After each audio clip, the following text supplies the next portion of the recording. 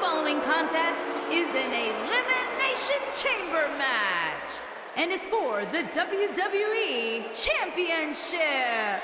Introducing the challenger from every man's nightmare, weighing in at 321 pounds.